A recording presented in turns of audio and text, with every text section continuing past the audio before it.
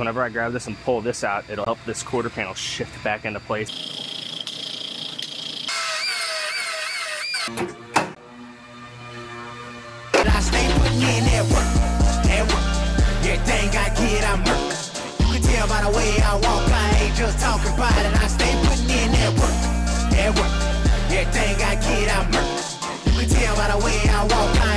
Talking about it. Up in the morning like five in the morning, I'm already on. So when you just getting out of the box, boy, I'm rounding the corner. This ain't a persona. The three.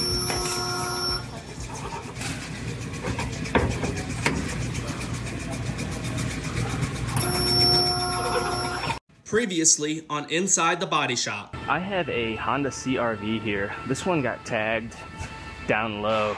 You can see how all this is completely folded up.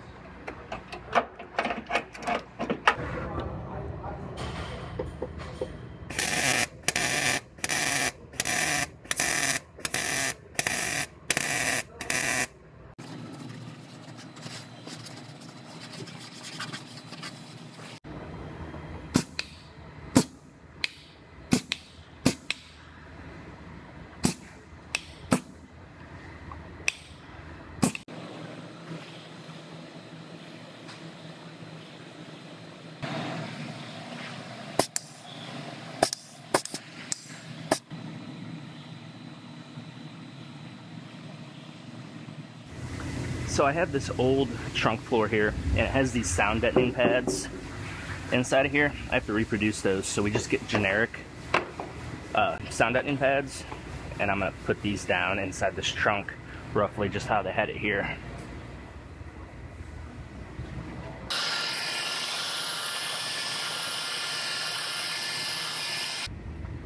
I always heat these up. It allows them to fit the contour better and they stick a lot better when they're warm.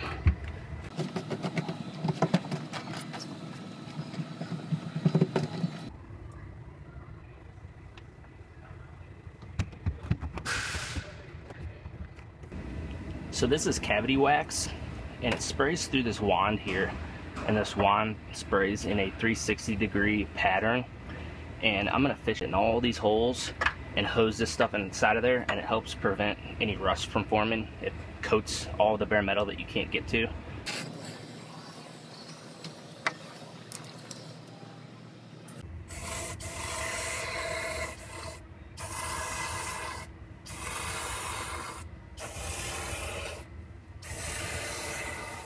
So we went ahead and dropped the suspension down loose on this one because I have to get up inside of here to seal up these seams.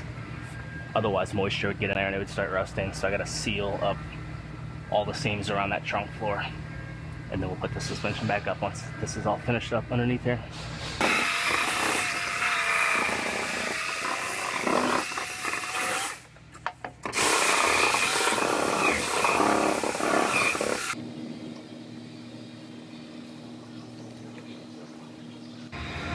I have a Hyundai Sonata here. This one got hit up high in this back rear body panel right here. Stuffed it really good and it stuffed enough when that went in. It shifted these quarter panels and it caused buckles. I'm not sure how well you'll be able to see it, but there's buckles in both quarter panels right here. So it's gonna get a new back panel. I have the new one here, but first I gotta pull all this damage out because whenever I grab this and pull this out, it'll help this quarter panel shift back into place where it's supposed to be before I cut this off because if I just cut this off, these quarter panels will be out of whack and then I will have a hard time getting all this shifted back where it's supposed to be because I won't have this old panel to use to pull off of. So I'm gonna make a few pulls first.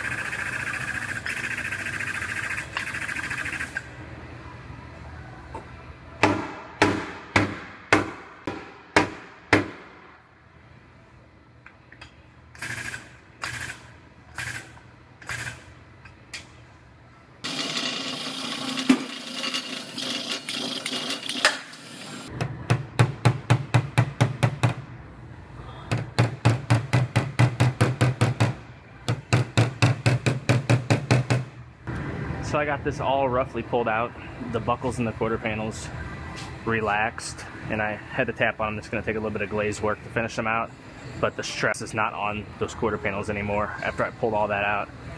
And I have the used trunk lid roughly fit up, and my gaps look pretty good. So I am going to go ahead and start cutting this rear body panel off of this one, start fitting the new one up.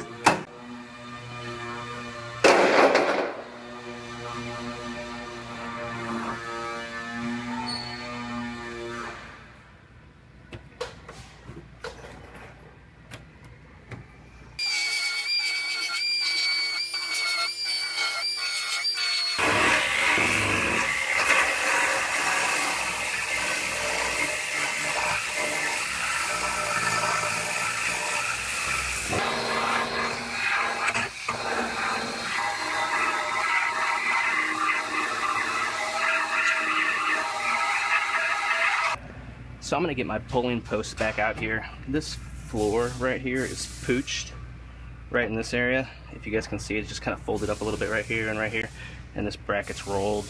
So I'm gonna get my pulling post back out and just put a little tension on that and work that back into shape. And then I will start fitting up the new rear body panel.